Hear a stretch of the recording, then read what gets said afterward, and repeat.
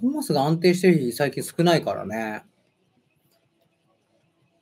ライスがね、ライス取ったらトーマス、ジャカの位もやったりすんのかね。個人的には改正度の方が見たいんですけどね。でもまあ、ブライトに弱くなってほしくないっていうのはありますけどね。ライス合わせなので、どうだろうね。やってるサッカーが全然違うからね。ほんと空中戦大好きじゃん。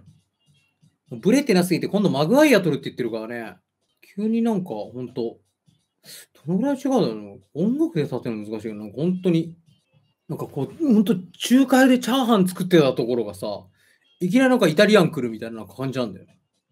ちょっと繊細かつ豪快みたいな、両方あるみたいな方に来るから、豪快だけやってたみたいな感じだったからさ。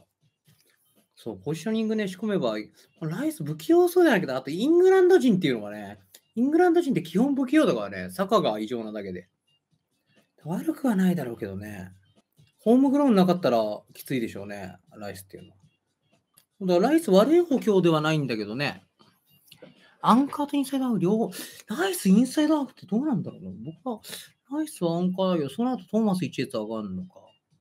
あとライスセンターバックもね、一応。でもセンターバックが足りないってわけじゃないしな。まあ、ディフェンスラインとアンカー全部任せられるみたいなイメージなのかね。でも悪い補強ではないですよね。フレスネダー楽しみ。うん。でも同じロンドンのライバルチームに送り込むからね。それはウエストハムはね、契約もあるんだし、好きな額言っていいですからね。